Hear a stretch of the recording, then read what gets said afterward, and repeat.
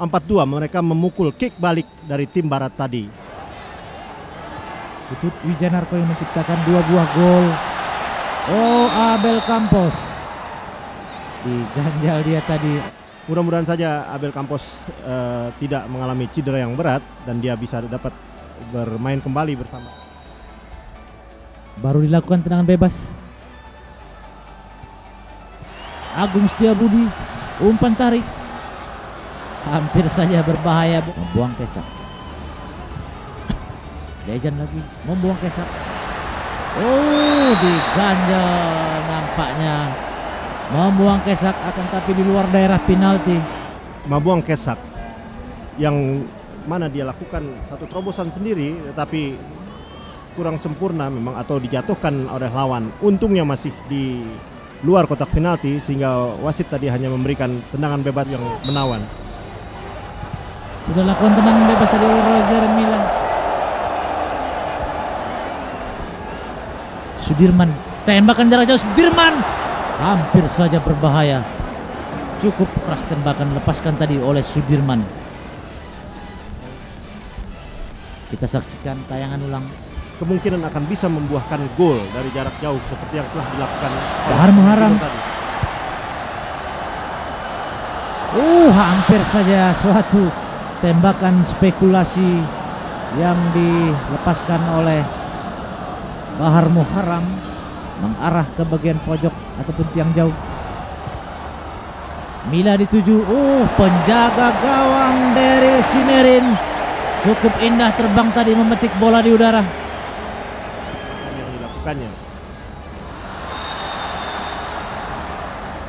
Offside Abel Campos. Efektif dan dapat melahirkan gol-gol yang bagus tadi.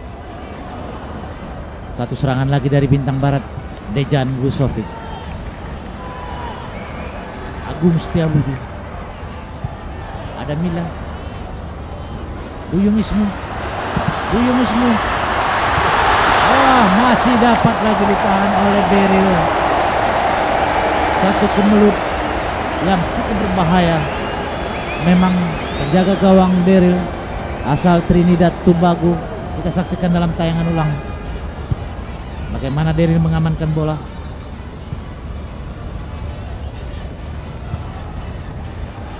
Kesak. Tertahan ke Haji Santoso. Antonio Carlos serangan balik. Abel Campos. Abel bebas. Mencoba Abel terus. Lepas tem masih Husaini. Fahri Husaini tertahan lagi di kaki Sudirman. Cukup berbahaya satu serangan dilancarkan oleh bintang-bintang dari timur Fahri. Patut dipuji karena permainan individunya memang matang sekali. Kita memang melihat Fakhri Husaini menonjol sekali malam ini.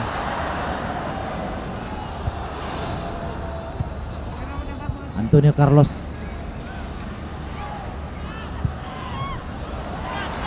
Ada nomor 18 Bahar.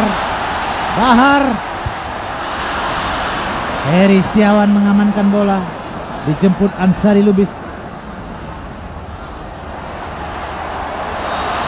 Satu lagi tendangan penalti. Robi Darwis nampaknya melakukan pelanggaran. Tendangan bebas bagi bintang dari timur setelah pelanggaran dilakukan Robi Darwis. Antonio masuk. Satu tembakan yang cukup baik yang ke-29.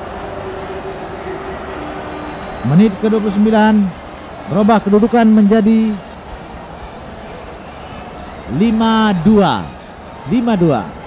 Satu lagi contoh kematangan dari pemain asal Brazil ini, Antonio Carlos. Tendangannya cukup terarah, walaupun belum mengecoh kiper, tapi penempatan bolanya yang cukup sehingga membuat tambahan gol bagi timnya. akan melakukan tendangan bebas sekitar 2 meter di luar daerah penalti. Wah bagus. Dezan nampaknya yang mengakhiri dengan satu sundulan akan tapi offside sebelumnya. Mereka kembali dapatkan iramanya itu, tapi sayang sundulan yang dilakukan oleh Dejan kita lihat tidaklah sampai atau Antonio Carlos Fahri Husaini. Abel Campos Abel Campos lagi. Penting yang saya dapati di sini bahwa permainan dari Fakhri Husaini, kapten Gagal lagi serangan dari barat. Yusuf Eko Dono. Sudirman, pemain asal Arsitu. Ada Mila, turun dia menjemput bola. Kesak cepat, Ansari Lubis dan Kesak yang melakukan aksi-aksi yang cukup bagus.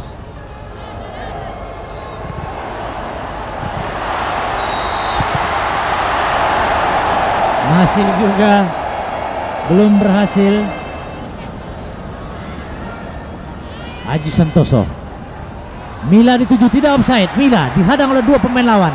Masih Mila lagi. Ada Buyung Ismu. Oh, masih saja lagi tembakan Buyung Ismu barat. Kita saksikan dalam tayangan ulang bagaimana Buyung Ismu dengan satu tembakan first time dengan kaki kiri tepat mengarah kepada Daryl Sungguh bagus. ke dalam Hartono. Cukup jauh lemparannya. Hampir lagi berbahaya. Inilah Dejan Gusovic. Mila masih dapat diteruskan. Ah, akhirnya Kesak. Kendati pun kita saksikan Daryl yang sudah sempat berhasil menahan bola. Namun dua pemain nampaknya harus berebut bola dari kakinya.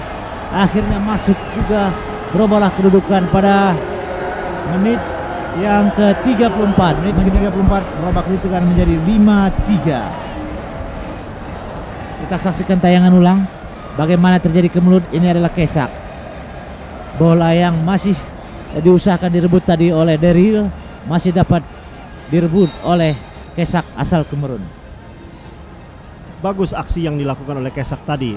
Itulah tadi kemampuan pemain yang memang umurnya masih belum begitu tua dibandingkan oleh Mila. tidak merupakan satu pelanggaran Ansari Lubis